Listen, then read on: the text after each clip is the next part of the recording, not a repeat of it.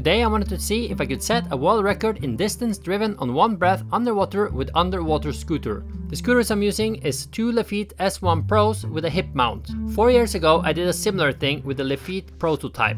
Then I managed to go 225 meters which I think is the current world record. At that time I used only one scooter and I was hanging behind it. So using two more powerful scooters should make me faster and using the hip mount should make it more relaxing so it's easier to hold the breath. But as you can see in the video, in the beginning of this record attempt, I had problems with my mask filling with water and I had to adjust it and get the water out. You can see some air bubbles racing in the water as I'm blowing air into the mask to empty it of water. This for sure will affect how long I'm able to hold the breath. When I filmed the video 4 years ago, I used 4 minutes and 45 seconds to go 225 meters. At that time, my breath hold ability with normal air when laying still without doing anything was about 745. To manage to do a maximum breath hold, you need to lay completely still and relax. Just thinking about stuff affects how long you can hold. In 2020, I did my longest breath hold, which was 945.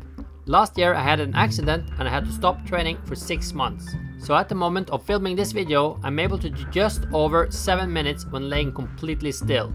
To prepare for the record attempt, I was in a warm pool for 25 minutes doing breathing exercises. Breathing for 2 minutes, then holding for 3 minutes, breathing 2 minutes, holding 330, etc. In the end, I did a 6 minute breath hold before I went to the big pool when I was breathing for 4 minutes and then I started. As you can see from the position of my body, at times I'm bent at the hips. That is not ideal. I should have had one more kilo on my weight belt, that should have fixed it and made me more streamlined. There's one camera at each end of the pool, one camera on the middle of the pool and one on my mask filming down. In addition, Melanie is filming with a camera from above so you can see the whole video uncut in the top right corner.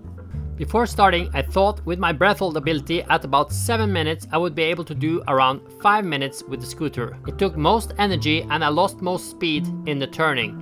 If you look at me in the video now, you can see that I'm doing something with the scooter. That is actually me thinking they should be faster and checking the speed settings. There are three different settings on these scooters, slow, normal and fast. And I noticed they were set at normal, meaning I was not going as fast as possible. So I changed it to fast. I instantly felt a speed increase, but it started to pull a bit to the right, because I did not manage to push the button all the way on the right scooter. Then I pushed it again and the speed increased even more. In the rounds when the speed setting were set at normal, I used about 45 seconds to travel one distance, which is 50 meters.